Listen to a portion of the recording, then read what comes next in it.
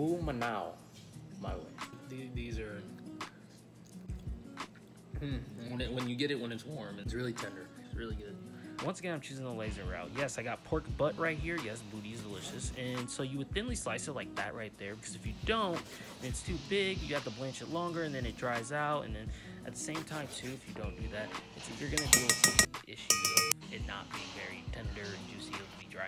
But um, here, I'm making a little marinade where I'm using the Chinese method of velveting, where you add cornstarch and water. Sometimes they add egg whites, where and you uh, you coat it, you marinate it, you blanch it, and it, what that does, it creates a layer on the outside of the pork or any meat you're using, and then that prevents the juices from inside the meat from leaving out while it's cooking.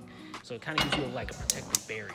Um, here, this recipe is really like simple. You just blanch the pork, and then you make the dressing. You blanch some and boil some vegetables or saute if you want. Usually this is eaten with like uh, Chinese broccoli. Uh, here I'm using regular broccoli, and that's fine enough. I'm blanching it. There you go. You know, you blanch it until it's nice, not super soft, but it's got some bite to it, uh, but still softened. So here, it's this recipe is a spicy garlic lime pork. So here, the most important part is the garlic. Usually you don't add this much garlic whenever you're making a dressing, a lime dressing, like for a Thai salad or something. Here, I decided to saute the garlic to give it that extra flavor, just that real pungency, nice flavor of uh, golden brown garlic.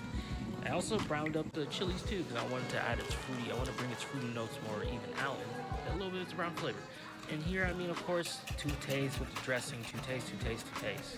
You know, um, this is a very Oh, here, uh, this is very important. So as soon as it hits, as soon as you add your pork, mix, mix, mix, mix, mix, and you will cook this for like 15 to 30 seconds.